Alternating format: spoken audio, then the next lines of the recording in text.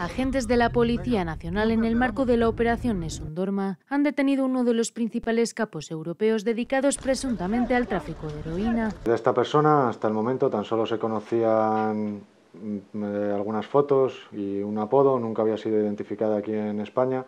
y se comenzó un trabajo policial pues, que ha llevado a la, completa desarticulación del entramado criminal que esta persona ostenta aquí en España.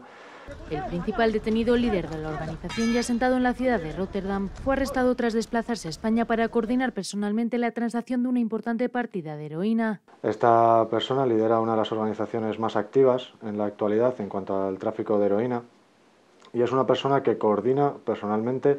eh, prácticamente cada apartado de, la distribución de heroína,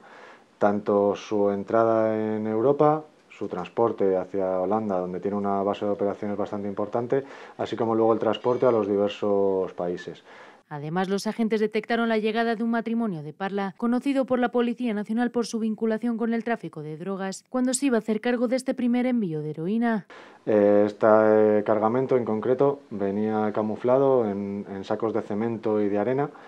que vinieron directamente en un transporte, como le digo, completamente legal y ajeno a la organización y que fueron... Eh,